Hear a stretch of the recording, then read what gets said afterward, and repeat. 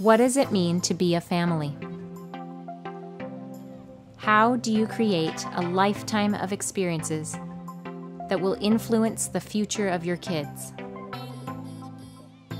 We are on a journey to discover the answer.